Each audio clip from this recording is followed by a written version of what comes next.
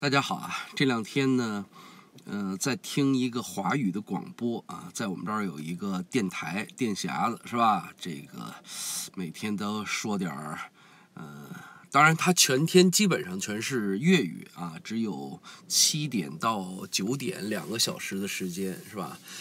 呃，在说普通话。其中呢有两个主持人，一男一女啊，一男一女呢。这男主持人呢，我觉得他可能是南方人啊，很南方的南方人是吧？所以说呢，他嘴里边的齿音字非常多啊，而且还经常加个喔啊。你你你有没有这个买那个东西喔？它真的很好哦。嗯，还经常加一个这个。但是我也我我的意思是什么呢？就调侃调侃呗，就说，呃，你作为一个节目主持人是吧？呃，最好说好普通话啊，不要加一些家乡的语言啊，或者是一些这个。特别南方的，让让一些听惯普通话的人觉得特别不舒服啊！但是我没有说他装逼啊，因为我觉得他可能是一个呃南方人啊，广东啊或者福建，在尽量讲好自己的普通话，已经很努力了。呃，还有另外一个节目主持人啊，节目主持人呢是一个这个女性啊。估计岁数不大啊，他经常在节目里呢标榜啊，我去西西班牙是吧？我在希腊啊，我在西班牙生活过，这个巴塞罗那是吧？不说巴塞罗那啊，巴塞罗那啊，这个瓦伦西亚啊，要是是不是这么发音我不知道啊。呃，在标榜自己的一些见识，一些所谓的这个比别人高人一等的意思啊，潜台词。呃，这个女生呢，我听 听过一次两次。呃，她开始的节目呢是说的非常标准的北方的普通话啊，像河北的官话、北京的普通话是吧？呃，一些其他其他地方啊，说的非常非常标准。但是啊，过几分钟啊，过了三两分钟以后，它里边就开始增加很多的齿音字，是吧？这个，如果你觉得你待的国家不好，你就去建设它，建，反正就是呃，慢慢慢慢就变成这种啊，比如说台湾的普通话呀，是吧？新加坡、东南亚的普通话呀，就变成这种普通话了。呃，我就觉得他这是装逼，为什么呢？因为你开始的语言，你说的普通话非常的标准，非常的北方话，是吧？而且啊，你在节目里说啊，这个我小时候吃粘豆包，我我一听就乐了。小时候吃粘豆包的这个区域基本在北方，是吧？那如果说出来粘豆包这三个字儿啊，就证明你是一个东北人。啊，一个东北人非要，呃，我觉得这样是不好的啦，那样是不好的呢，啊，三河啦。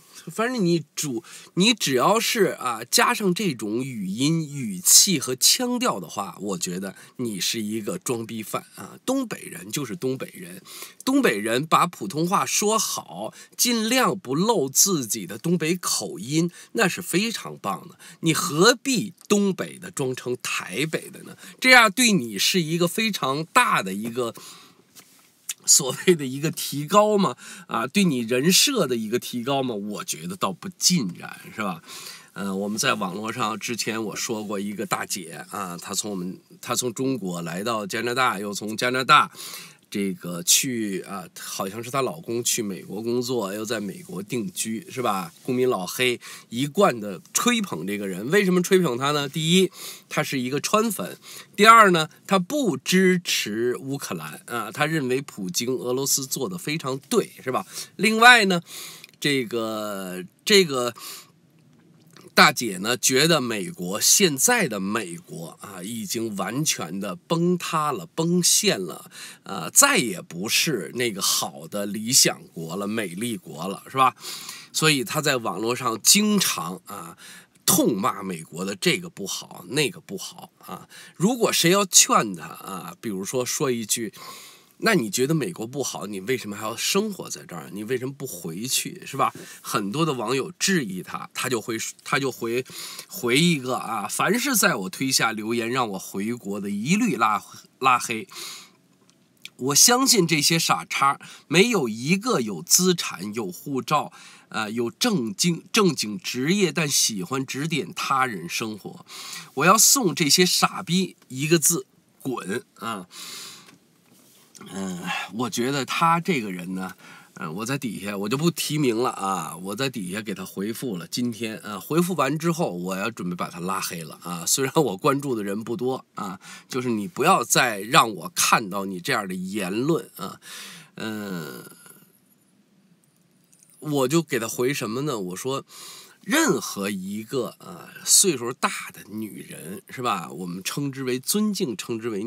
你为女性，但是你不要男的啊，一个糙老爷们儿，像我们这种是吧？没什么学识，没什么文化，没什么社会地位，口袋也没什么钱，生活在社会最底层。像你们所说的，生活在丁胖子这个广场 合租屋啊，地下合租屋里边呢。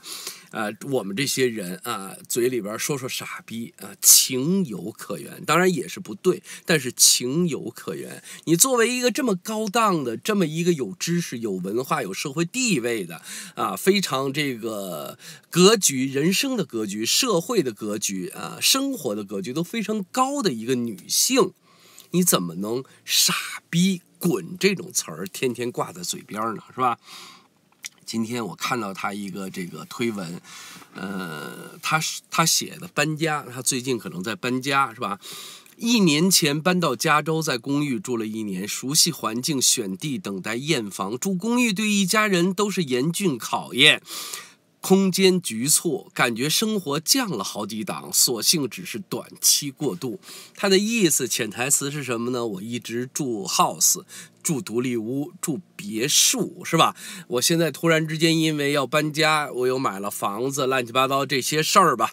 啊，他又自己标榜我曾经住在一个非常贵的一个美国的区域，是吧？我现在住这个公寓是啊一时的不得之举啊无奈之举，呃，我马上就会搬到大房子啊，这是一个短期过渡。移民出来，一切都按照计划进行，时间上天衣无缝。老公。周五辞职，周六登陆加拿大，在加拿大也是周五辞职，周六飞往西雅图啊！我对西雅图印象特别不好啊！我原来觉得西雅图是吧，靠近我们加拿大啊，又是一个港湾。呃，这个又是非常呃有一些高素质的 IT 人士是吧？大公司都在西雅图，而且星巴克的第一家店也在西雅图。我对西雅图之前的印象非常好，但是最近有几位生活在西雅图的人，我就觉得，呃，他是其中一位是吧？还有一个那个东北一个满毒的傻逼啊，总觉得自己跟他一样啊，总觉得自己高人一等是吧？周六飞西雅图，周一开始新工作，再如法炮制到加州啊，又从西雅图到加州了啊，到洛杉矶或什么地儿啊。从来没有一天无收入啊！那些因为我批评美国就让我回中国的傻缺们，如果我出国后只能住丁胖子广场之类的贫民窟啊，就指的说我这种人啊，我们之类的这些人啊，不用你们招呼，我早就回国了。哪像你们这些灯塔教徒，刷盘子搬砖都要赖在美国，别说是住贫民窟，就是长期住公寓，我都打死我。都会打道回府。我移民美国来是享受的，不是来朝拜。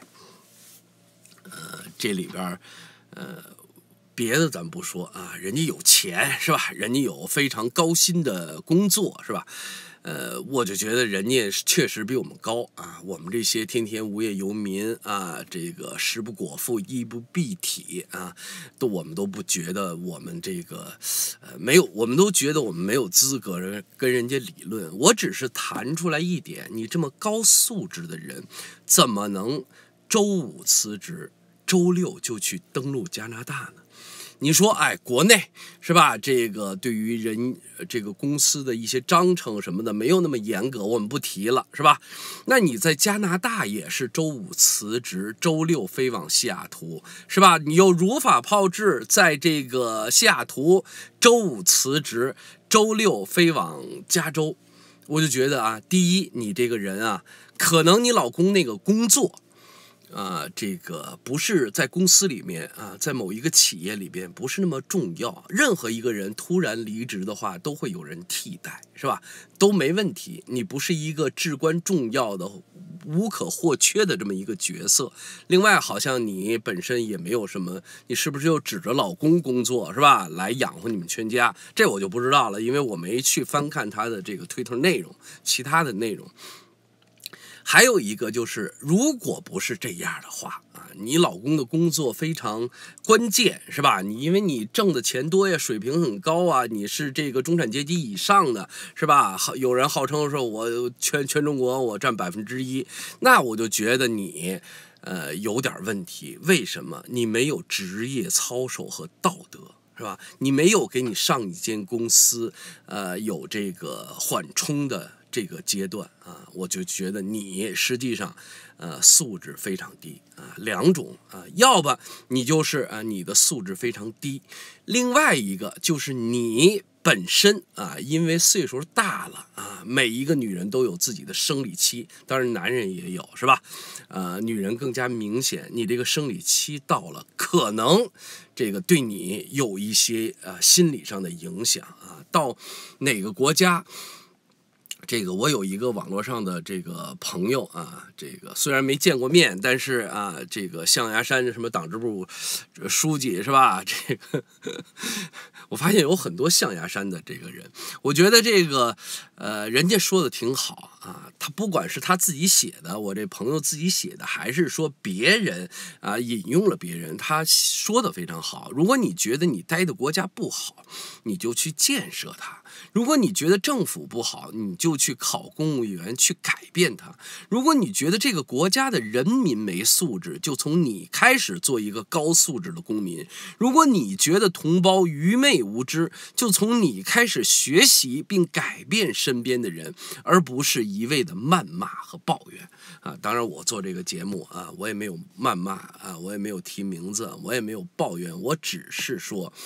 我们出离了那个粪坑的我们这些国人，呃，没有必要天天把脱脂啊，我们的这个族群完全是世界上最烂的族群，是吧？我一定要改变，我不当这个族群的人，是吧？我要装成日本人、韩国人啊，哪么我给日本人、韩国人当儿子，是吧？因为我装不成西方人，我们的肤色、我们的眼睛、我们的这个身材，包括我们。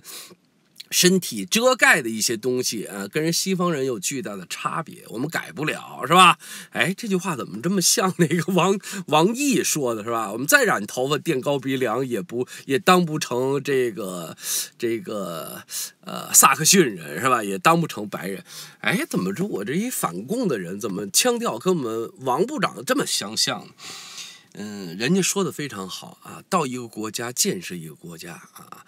这个支持这个国家啊，这个每一个国家，无论是美国还是西方其他的五眼联盟也好，包括日本在内，所有你你说你就说日本那么一个呃这个制度也好，人民素质也好，全世界第一的这么一个国家啊，也有这样或那样的问题。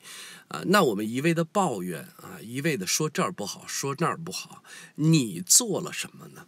你到达人家接纳你的这个国家，你为这个国家做了什么？有的人说我交了税了，你交的那点税呀，啊，啊可能还不如我们这些住在丁胖子广场的人交的税高呢。所以说，啊，人外有人，天外有天，不要天天把自个儿那点逼事儿，是吧？把自个儿那个那个，让很多的有层次的人，并上不了法眼的这些糟啊烂烂七八糟的一些事儿，天天的挂在嘴头。你不要把自己装成这个世界上所有的人啊，或者绝大多数人都没有你素质高，不要这样，是吧？呃，尊重普通人，尊重底层人。如果你也不尊重普通人，你也不尊重底层人，你和共产党有什么区别呢？是吧？或者你真是带着任务来的，你真是一个这个党外的党内人士，是吧？你愿意为那个那个国家、那个那个政府叫好，是吧？你看看外国还不如中国呢。我还是特别俗套的那个话，你如果觉得不好。你就回去是吧？你不要跟这儿混啊！天天还得那么大岁数，还得给人打工。万一你老公失业了，你怎么活呢？你买的房子、置的地是吧？你孩子你怎么生活呢？你怎么能达到比我们高很多的那个生活的标准呢？是吧？我啊，我突然想起来，那个每周呃每周花五百元去超市啊，五百美元去超市，那是不是也是你说的？哎。反正是我们这些穷人，我们这些底层人，我们这些在盯胖子跟别人合租的人，我们这些走线来的人，是吧？我们这些这个每天啊面朝黄土背朝天，每天在餐馆打工的人，我们体会不到您这么高素质、这么高修养的人，呃，说出来的话啊，呃，您尽量还稍微的有那么一点素质，是吧？稍微的有那么一点素质。另外，我还是劝你。你现在你老公这个工作，包括你是不是有工作，咱们不知道啊。如果你辞职，啊，提前给人家一个预留的量。是吧？你要从哪儿辞职？是给人两周也好，给人一个月也好，那是人家公司规定。你要跟 HR 去这个讨论，人家要有交接，是吧？如果当然你是这个水平很高，我觉得你老公的水平也低不了，也不会是一个公司不可或缺的小角色，是吧？不断的那么大岁数还不断的跳槽，哎呦，我真是我问我问您累得慌。当然您肯定是脑力工作者，是吧？我们这些都是体力劳动者，跟您攀比不上啊！一辈子也不会有个交集，一辈子也见不着面儿，是吧？一辈子也不会在一个餐厅里吃饭，是吧？一辈子我们也不会西装革履的跟你见面。但是我劝你，就是这个社会各有各的阶级，每一个阶级如果在西方国家，可能各有各的难处。当然了，穷人。富人都有自己的快乐，自己的生活啊。富人可以尽情的挥挥挥霍自己的这个财富，是吧？穷人啊，每天可能相夫教子啊，是吧？每天可能为了这个柴米油盐呀，啊，在这个计算也好，在努力工作也好，我觉得这个也是生活的一个乐趣。每一个阶级。都会各自安好啊！不要你从一个很低的阶级跳到如你所说的一个很高的阶级，就对我们这个低阶级的人是吧？低素质的人，你们就看不起了，没必要这样。就跟我啊节目开始的时候做的那个举的那个例子一样。你东北人，啊，你可以说普通话，尽量把它说好，但是你没有必要把自己说出来的那个腔调装成台北人，何必呢？是吧？不是有那么个电视剧吗？何必，同志，何必呢？